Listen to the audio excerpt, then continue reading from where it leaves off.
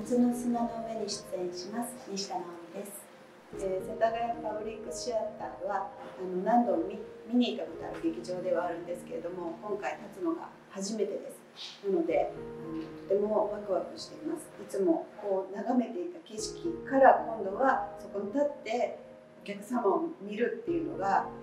どんな感じなんだろうと思ってとてもいい劇場なので、えー、立つのを楽しみにしています。えーと、演出の栗山さんは今回、初めてででも栗山さんの舞台何度か見に行ったりやっぱり他の役者さんたちから栗山さんの舞台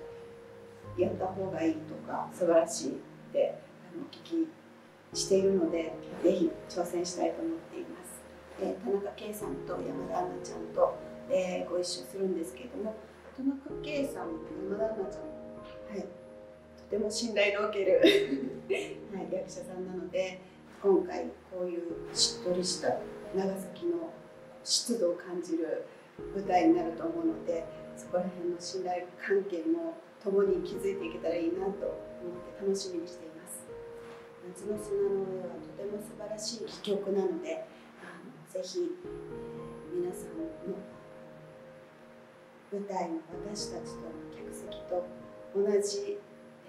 空気をじっとりと